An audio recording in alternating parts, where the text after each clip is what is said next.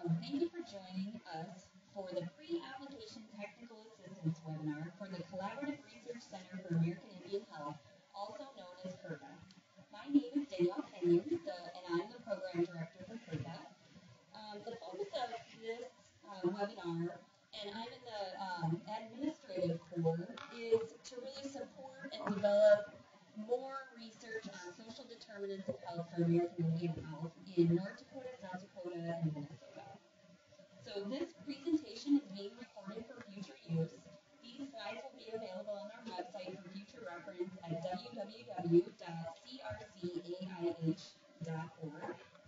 Um, you may must sign into the webinar and call the telephone line that's listed on this slide, um, as well as in the chat box. Currently, we will have everyone on mute or lecture mode, and whenever you have a question, please type it into the question box.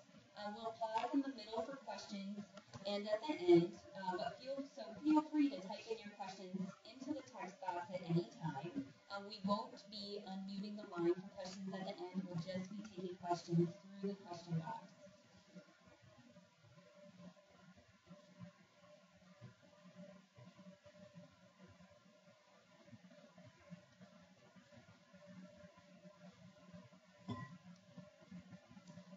So joining me today is Tabitha Lemke. She is the Grant Development Manager here at Sanford Research in the Grants Office. So the overall purpose of the CRCAIH Pilot Grants Program is to fund cutting-edge transdisciplinary research that addresses the significant health disparities experienced by American Indians in South Dakota, North Dakota, and Minnesota. So that's really taking a collaborative approach and designing re- and implementing research projects that come up with a new methodology across disciplines. All of these projects that are funded through the Pilot Grants Program will embrace a social determinants of health theme leading to the improvement of American Indian health. So that's where we're looking at the environmental and social aspects that have an impact on health. And also another thing these projects should do is have a strong potential for future funding, including the sustainability and growth of the project. So where we're seeing this, um, these successful awardees is these pilot grants are really seed money to help them get their program of research off the ground that will lead to more research in the future. So this slide is just showing, um, as many of you have hopefully seen on our website, at crcaih.org slash pilot grants. The RFA and application are the two big pieces of information with all of the, the information you'll need to apply for the pilot grant. Um, the RFA is on the, on the left, and that is the PDF document that has all of the information and overview of what goes into the application, different resources for you to consider, and we'll be going through um, all of those things today. The document on the right of the slide is the um, a picture of the front page of the application. This is the Word document that we'd like you to type your um, responses in and um, fill out. So there you're cutting and pasting different information into this document. So just to go over the eligibility for the pilot grants program, we um, are open, very open to any organization that can receive federal funding. So this includes community and tribal organizations, businesses, local government, schools, um, higher education institutions, advocacy organizations, state and regional organizations, anybody who's available and eligible to uh, receive federal funding. So the applicants were, we don't have any specific degree. It doesn't necessarily need to be a PhD who is the principal investigator or PI. Um, we're looking for any individual with the skills, knowledge, and resources necessary to be the PI of the project. So investigators may participate in more than one application per cycle, but cannot be involved as a principal investigator or that lead or co-PI in more than one project. So these PIs um, are also um, eligible since this is our third round of the pilot grants. Anyone who has an active CRCAIH award are not eligible. So an overview of the project timeline. Um, we're really excited that this is our third year of the pilot grant cycle. Um, we have already kicked it off. We've kind of pushed it earlier and earlier every year just so that we have more time between um, when the applications are due. That gives the awardees more time for review, NIH review, and uh, more time to get secure those um, IRB um, materials. So this year we have the letter of intent, which is not um, mandatory but highly encouraged. That was due on December 15th. So if you didn't um, turn in an LOI, that's just fine. Um, you are still free to apply. We very encourage you to do so. Um, but the big red um, text is the most important that you want to look at. That application deadline is February 10th of this year. So we a little less than a month now to work on those applications. So we're looking at um, the review will happen after that. We have an external review process, and the notification of awards will happen probably sometime mid-April of 2015. And the funding period for this grant will be starting August 1st um, for one year. And then just a, a bit of a funding overview. What we have um, dedicated to this um, this for this year is um, $240,000 in direct costs. Um, what we're looking at, we're looking for applications that have um, between 25000 and 80000 in direct costs. And these grants, there's um, an F&A rate is allowed at your institution's approved rate um, over and above that amount. So writing projects that fit 25000 to 80000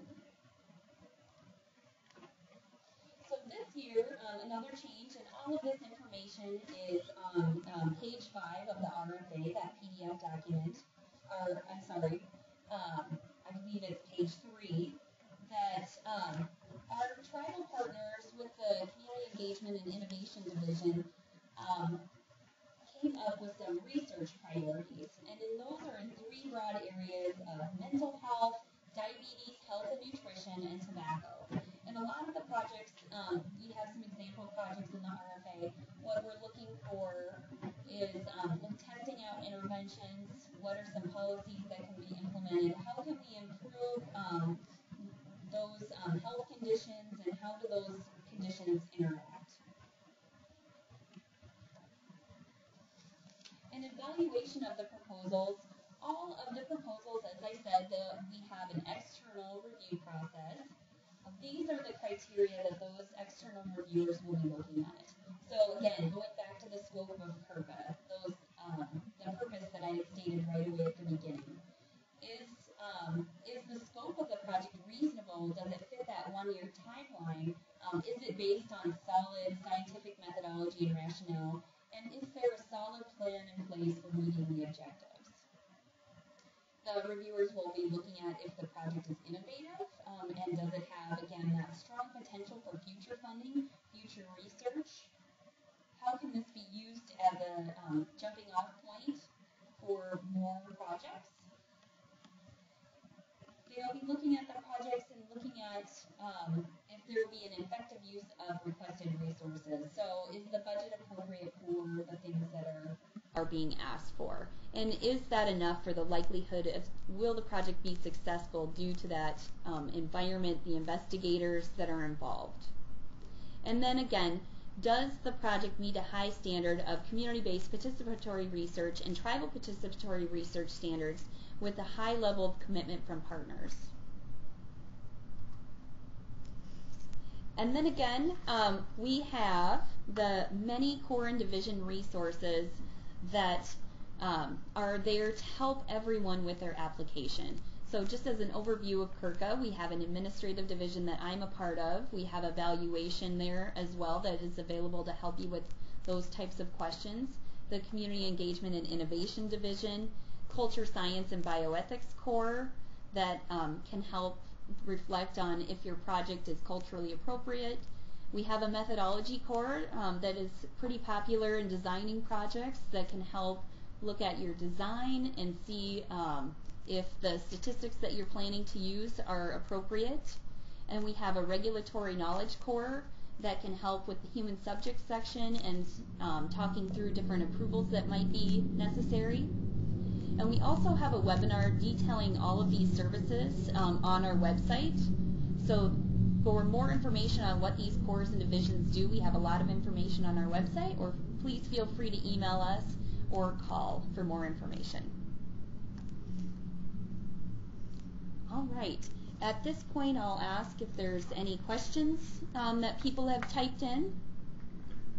Yeah, it looks like we have a couple questions to look at. Um, the first one is, in order to budget for indirect costs, do we need to have a current year 2015 indirect cost rate, or will CRCAIH accept a fiscal year 2014 rate as a provisional rate? We will accept the provisional rate if you don't have a current rate available. Whatever your most um, recent rate approved at your institution is the rate we will accept.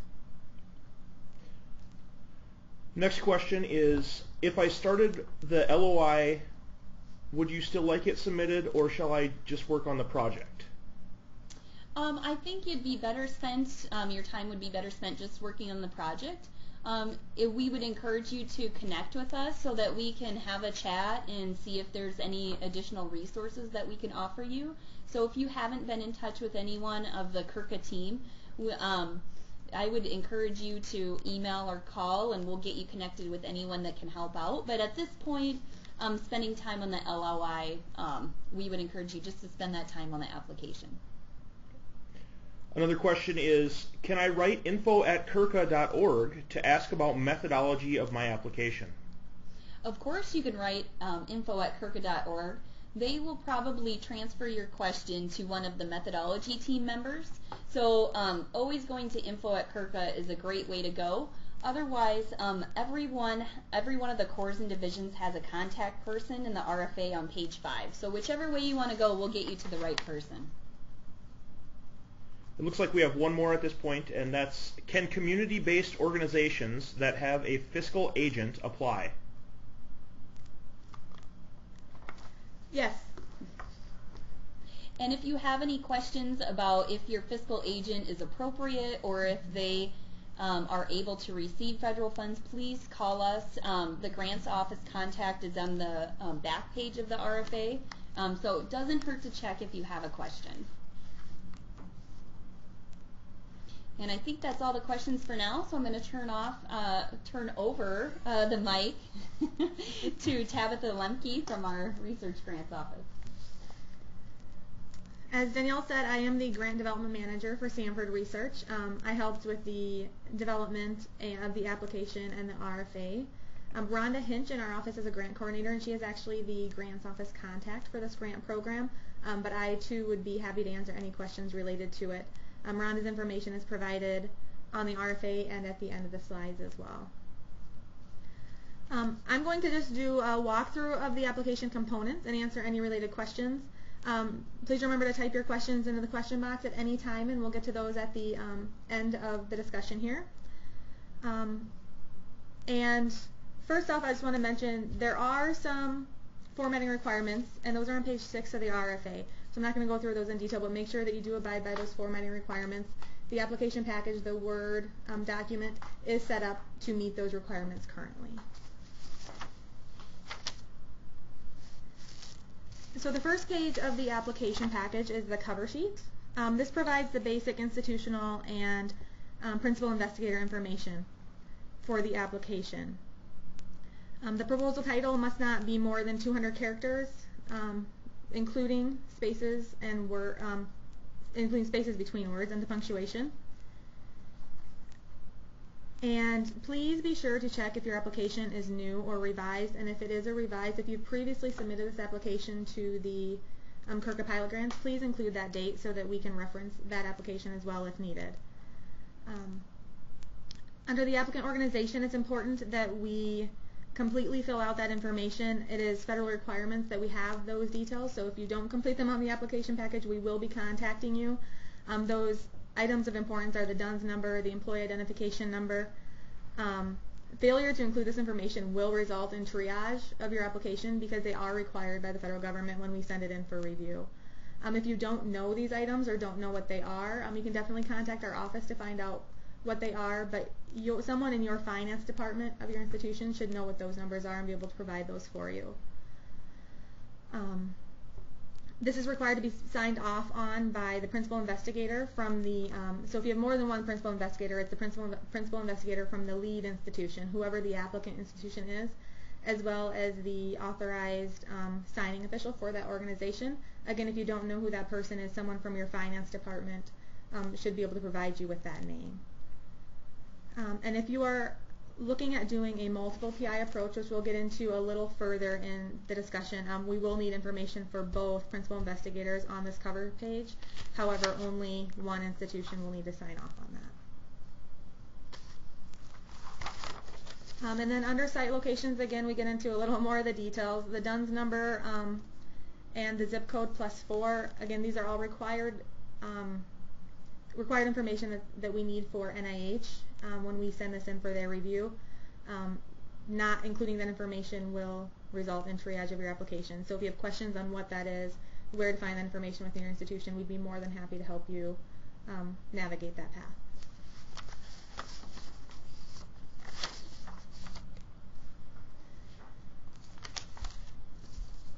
The next part is the um, project descriptions. Um, the project abstract, you want to look at stating the broad long-term objectives of the, of the specific aims. Um, it's very important to reference the impact on the American Indian health in this section. Um, and do not exceed 500 words for that section. Second section there is the project narrative. Um, this should be generalizable to a lay audience. So anyone who is non a non-scientist should be able to read this and understand what your project is. Um, there should be a relevance to public health listed in this section, um, and we're looking at about three to five sentences for that. Biographical sketches. So we're looking at, we call these bio sketches. Um, they are required for all key personnel, so principal investigators, um, co-investigators if you're considering them key personnel. Um, it is optional if you want to include them for significant contributors. So if you have collaborators or um, people that you think are significant to the project but maybe not to the point of being a key personnel, um, and you want us to be able to see the bio sketches or review committee to be able to see the bio sketches, you can definitely include it for those people as well. Um, we are using the old NIH format. The new format is out, um, but we are going by the four-page format um, that includes the education, personal statement, position and honors, and peer-reviewed publications, um, as well as your res research support. Um, the template for that is at the back of the application package. And if you have questions on that, please don't hesitate to contact us. Um, again, the page limit on that is four pages per person, and they should be included in the Appendix A. The facilities, equipment, and resources page, um, we're looking at we're looking for you to identify the facilities and equipment already available for this project. So items that you won't be including in the grant application but are currently available for your study. So this is important because if someone's reading your study or your project and they don't um, see that you budgeted for a certain component of it, they want to make sure that you have that um, available to, to complete your project. Um, we do need a facilities and resource and equipment page for every site location. Um, and the site locations should be um, anywhere that the PI resides, so the institution for the principal investigators, and any um, other field work or site that maybe you're going into a tribal institution or a tribal area or any other site. And so you could have three, four, five different areas that you're providing facilities resources page on. And there is no page limit for that section. Research strategy is made up of four different sections. Um, we would just ask that you use the appropriate section headings on that. The sections are specific aims, significance, innovation and approach. Um, and those sections should not exceed six pages. Um, and within that, the specific aims cannot exceed one page. Um, you should cite all of your relevant work within the research strategy section. However, full references should be provided in the references cited section.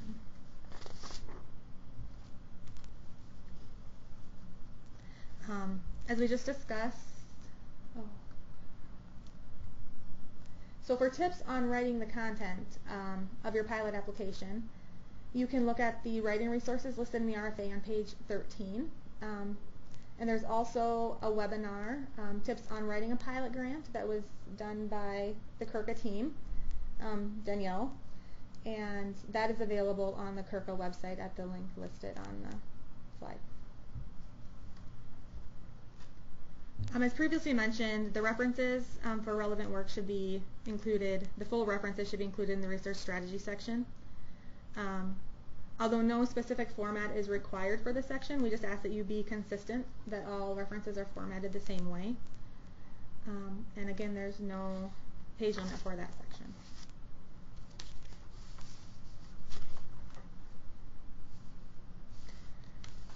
Human subjects. Um, there are several sections related to the human subjects. All research projects involving human subjects must complete sections A through F. Um, this section is required for, I would say, the majority of our application, or our applicants. Um, additional information and a link detailing the requirements for section is provided on pages 9 to 10 of the RFA. Um, there's quite a bit of information provided out there. Um, again, if you have questions, you can feel free to contact um, Danielle or our office, and we can provide a little bit of guidance on that as well.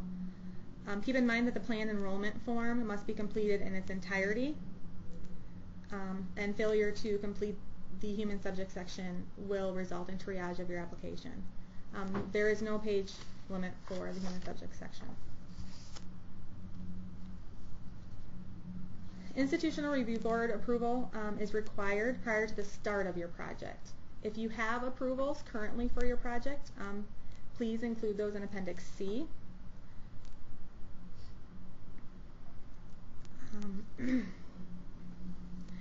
And on the application, there is a section asking for the name of the institutional review boards.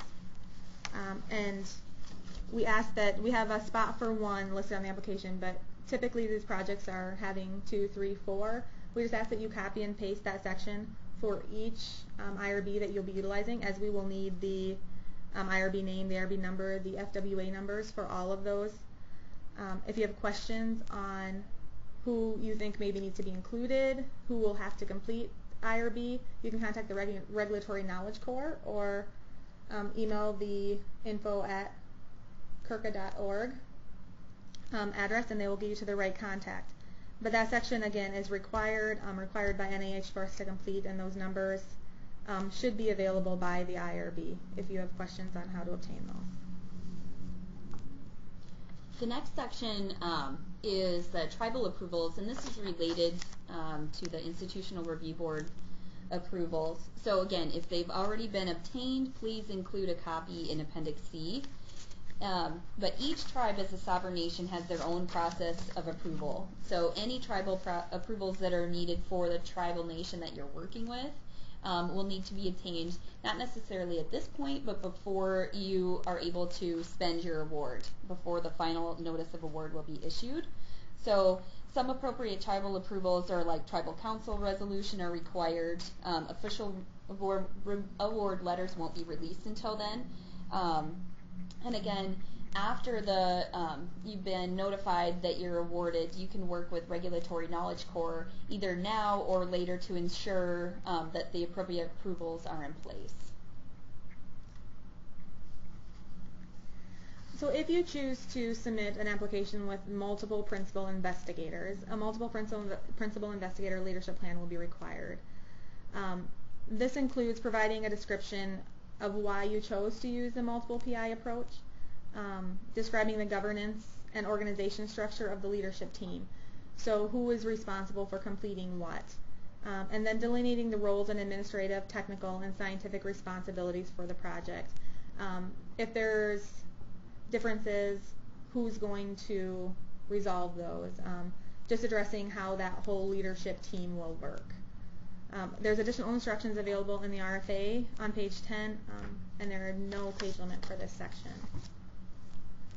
And to go into a little more detail, because people may be wondering what is a principal investigator, what is a co-principal investigator, and what is a co-investigator, um, we gave a little bit of definition here. Um, so a principal investigator is a project leader with a scientific, fiscal, and administrative responsibility for the project.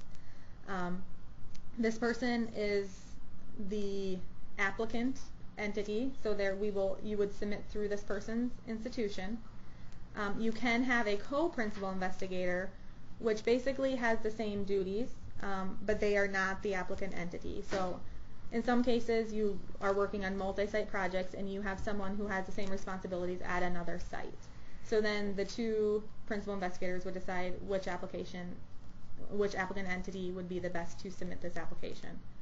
Um, a co-investigator um, is someone who is involved in the scientific portion of the project, not necessarily in the administrative side of it. So they have a significant role in the scientific portion, um, and they would most likely be listed as key personnel on the grant as well. Many, if not all, of the applications will involve consortium or contractual arrangements. Um, so here we want to, in this section, we want to explain the programmatic, fiscal, and administrative arrangements to be made between the applicant organization and the consortium organization. So basically what we're looking for is why are you working with this organization and what is their role going to be? Um, if you have consortium or contractual agreements in place already, please include them in Appendix B. Um, again, there is no page limit for the section, and there are more details available on page 10 of the RFA, where you can contact us if you're interested in learning more about what's required in that section.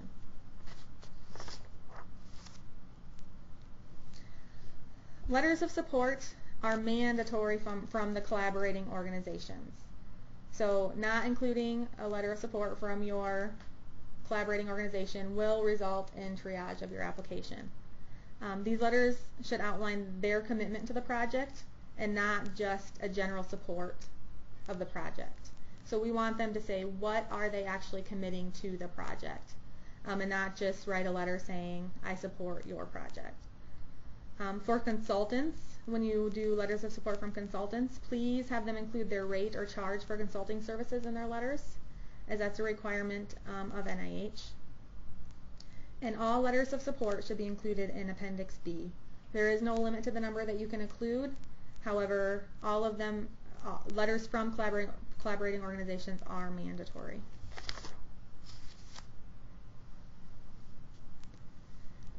The next section is the resource sharing plan or data management plan.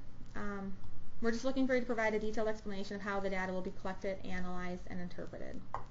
Um, provide a brief one paragraph description of how the final research data will be shared or explain why data sharing is not possible in that section.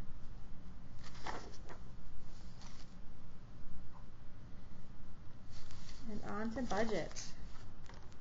So this is a slide that Danielle talked about a little earlier. Um, the project period for this cycle is August 1st of this year through July 31st of next year.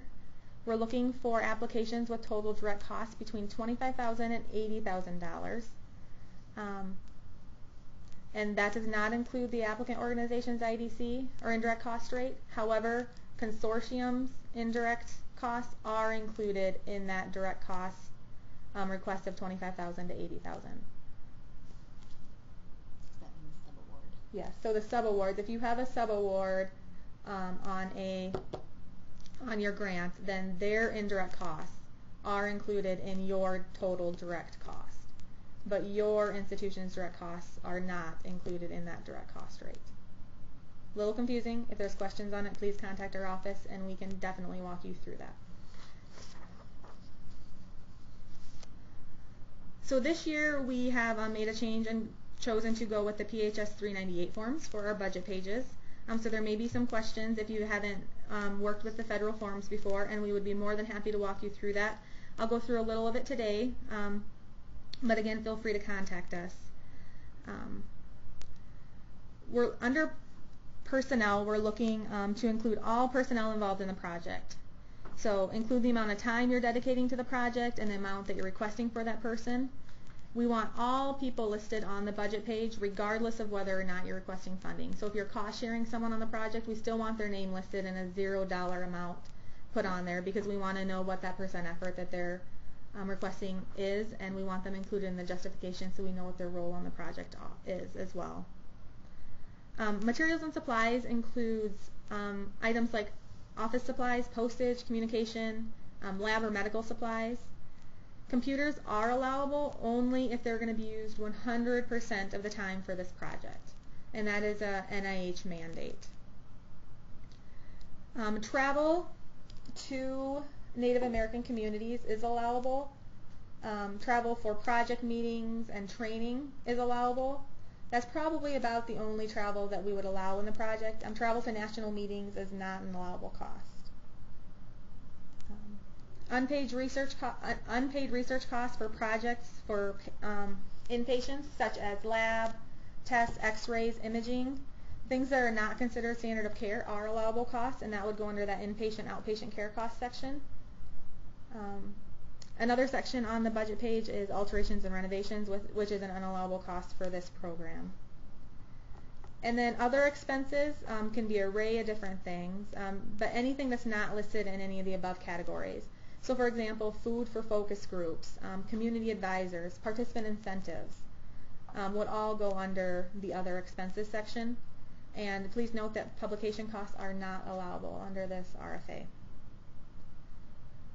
And then on that budget page, that 398 budget page, we're just asking you to insert the total direct and indirect costs for the consortium as well.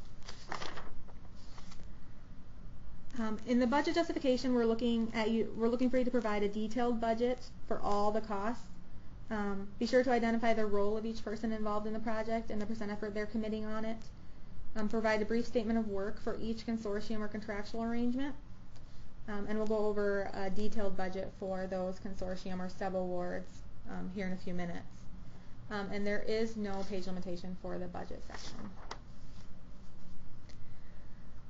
So facilities and administrative costs or indirect costs, um, always a question of debate. Um, so these are overhead costs incurred by your organizations um, which are difficult to itemize or charged directly to individual projects. So a lot of organizations have F&A um, or indirect cost rate.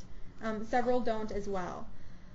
So if you do not have institutions that do not have an F&A rate um, and do not want to negotiate one particularly just for this grant, um, can use a 10% indirect cost rate. Um, if you have a negotiated rate with your organization, you can list your full negotiated rate on the application. Um, if you're requesting the facilities and administrative costs, the appropriate section in the application package must be completed. Um, and if you don't know if you have an F&A rate or what it is, um, you can contact your business office, your finance person, um, or your grants office if you have a grants office, and they should be able to help you identify what that is.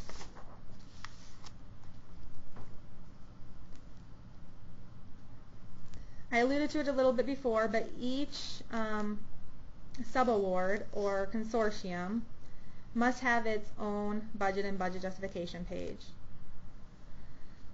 And I believe that is on page, if you haven't started typing into the application package yet, it is on page 10 of the application package. Um, we put in a spot for one subaward or one um, contractual consortium arrangement. If you have more than one, we would just ask before you start to complete this that you copy and paste that section for however many subawards you're going to have on your project because we will need a separate form for each entity that you're working with on the project.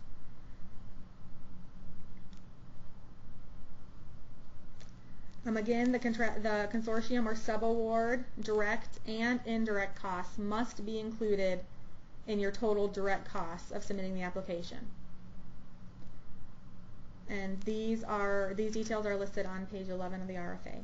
Um, again, no um, page limitation for the budget or budget justification component.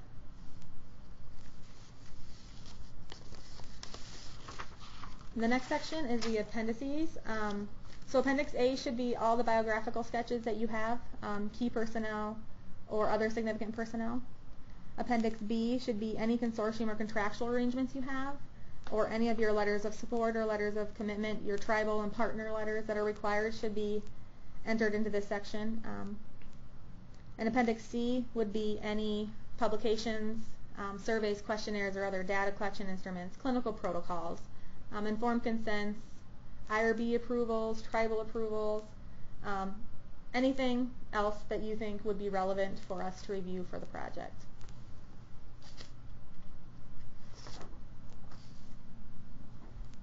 And then application submission, um, the deadline is 5 o'clock Central Standard Time on February 10th.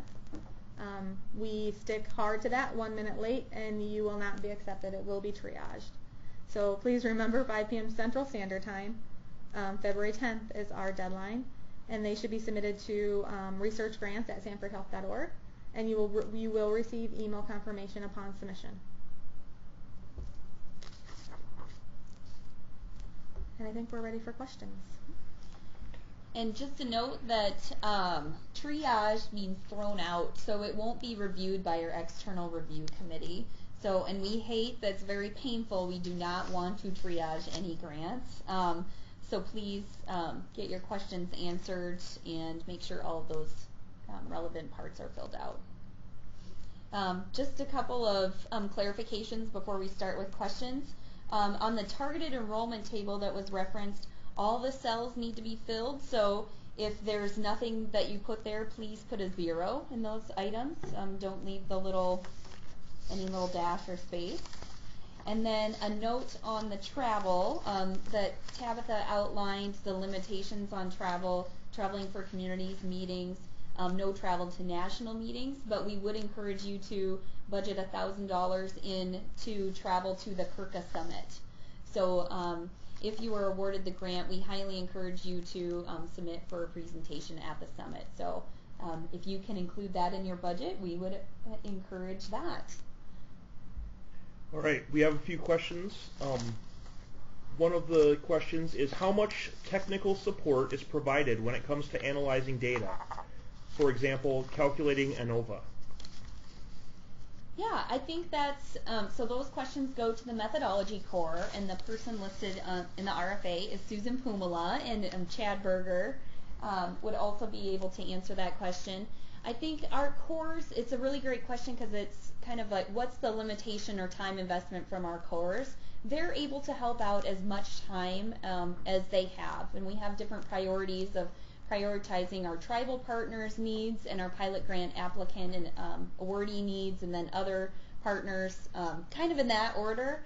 And I would think that something like um, help with calculating an ANOVA, um, trying to figure out what variables to use, setting up your statistical analyses would definitely be in um, their purview of helping. Now, actually, like sending them the data to run it for you, that's where I think the line would be drawn um, where they've drawn it in the past. Um, that they are one of the friendliest folks that will be willing to uh, chat with you, and even if you're like um, figuring out how the program works and um, doing your your analyses, I bet they would be um, happy to talk with you over the phone or sit with you while you do that. So if that makes sense, and um, if you would um, connect with them, um, we'd be happy to continue that conversation or if there's other questions about that too, where the line is when you're asking for core assistance, um, please just reach out to them and they'll let you know. Another related question is, do we need to purchase statistical analysis software as a part of our equipment? I guess that depends if it's needed for the project. Um, you would have to justify in your budget justification that there's a reason because some of the software gets pretty expensive and because this is a one-year pilot grant um, that might get a little tricky if you want to purchase you know I don't know how much they are $10,000 software um, might be hard to justify so it really just depends if you think you're able to justify it enough to the reviewers that that's a responsible way to spend your money.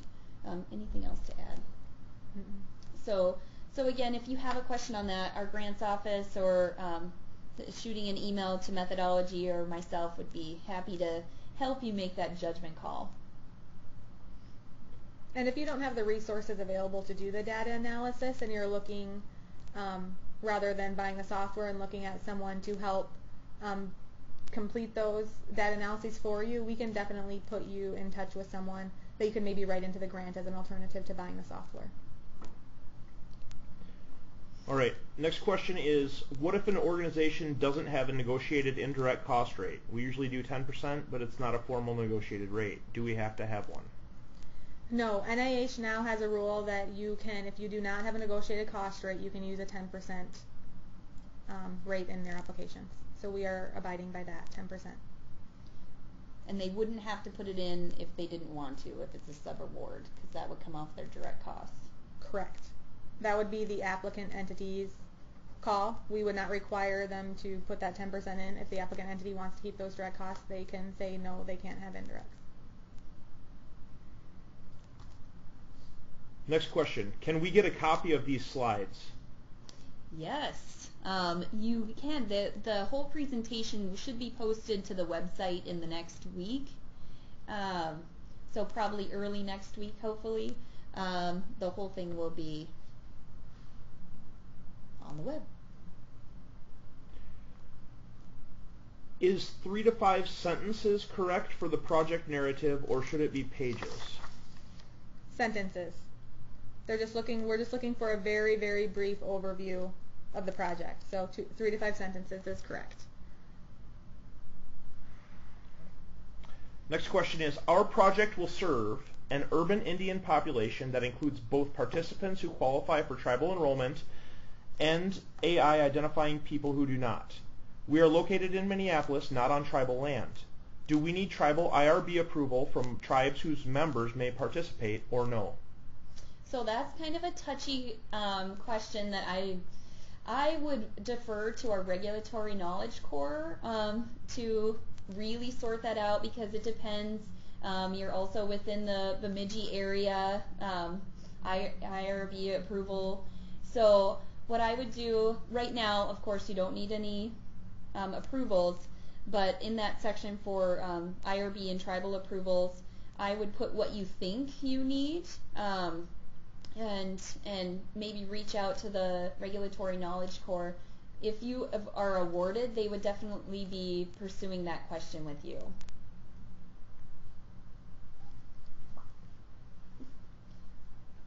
Can the personnel change once the award is given? For example, if I have a consultant that's no longer able to help, can I find someone else? As long as you don't list them as key personnel, yes. If they're listed as key personnel, then that would have to go through a prior approval process. But if they are just listed on the grant as a consultant um, and not as key personnel, yes, that person can change as long as they're providing the same service.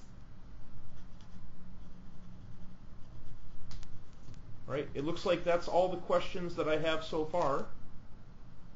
We'll wait another minute for any questions to come through, and so please type any questions in that you have at this time. Um, otherwise, as we've stated several times, we are more than happy to answer questions at any time and um, with the time that's provided. So if, if we can stress even one more time that um, the due date is February 10th, um, 5 o'clock Central Time um, to the Research Grants Office. The email that is on the screen right now, researchgrants at sanfordhealth.org, and their direct phone line is there. And then the CRCAIH office phone line is um, 605-312-6232. Email info at crcaih.org.